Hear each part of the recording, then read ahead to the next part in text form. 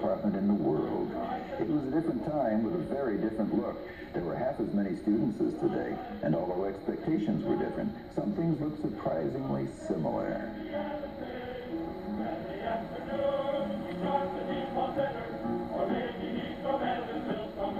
Computers were slow and difficult to use. Programs key punched into paper cards often took hours to sort and run. Researchers began to use computers mostly to analyze their lab data, and some tried to solve the most thorny of human problems. How would you like to have a computer pick your blind date for a Friday the 13th then? Over 1,200 Purdue students bought tickets and answered a few questions designed to match height, interests, and background. The computer matched the answers. Boys and girls met their dates at the.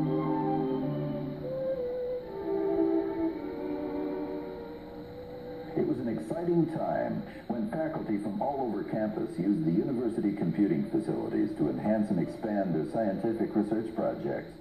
And while some things have definitely changed, the important objectives of computing at Purdue have remained the same.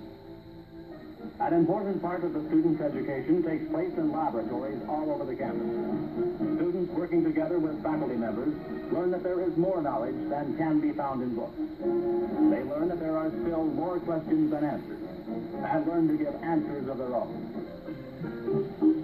Today in the computer science department, the large mainframe computers of yesterday have been replaced with small but powerful multimedia workstations which can be programmed visually to solve problems of ever-increasing complexity. We're working on a wide array of problems which can best be solved by using computers as an extension of our human intellect. And there's still leaves ample time for the more social aspects of campus life.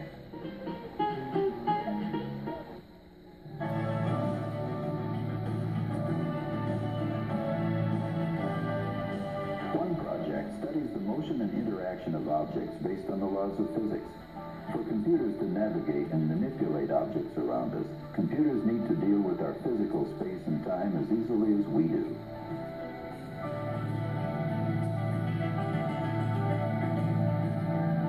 Yet computers are already helping us to see beyond our physical experience. With one system, we can visualize complex higher dimensional spaces, such as this space-time intersection of two objects or the electron distribution of a polio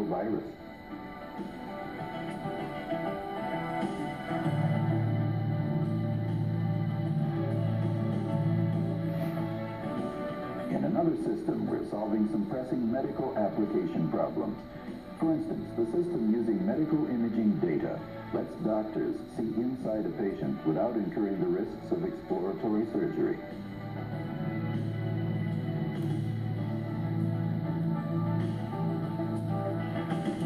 Overall, much research is devoted to scientific visualization and the modeling of geometric shapes.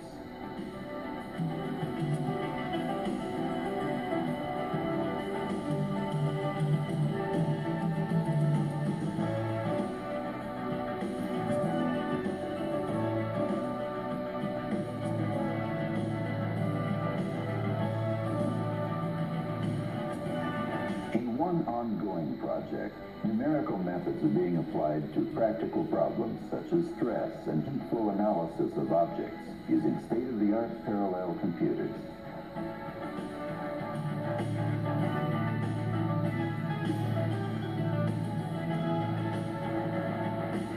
We've seen a very small portion of the research being done in the department. While we focused on the work easily represented in visual terms, there are many more projects being performed by students and faculty of the Purdue Department of Computer Sciences.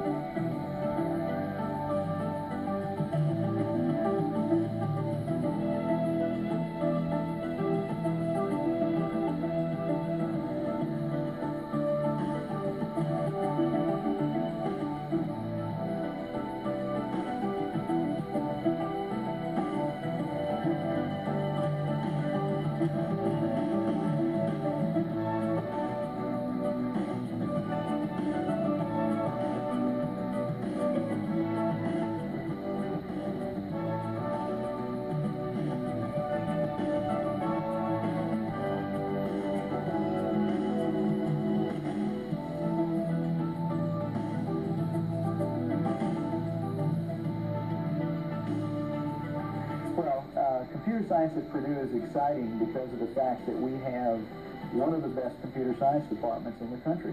We have faculty who are doing outstanding research in virtually every area of computer science. As a computer science, science student at Purdue, when you walk into a class and a faculty member is teaching you about some area of computer science, it's very likely that you're hearing from one of the world's authorities in that area, somebody who goes back to her or his lab and works on new developments, pushing the frontiers in that area.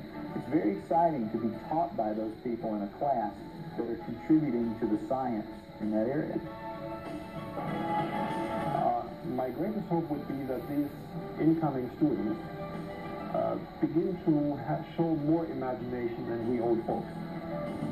And that really it is only our own imagination that limits us.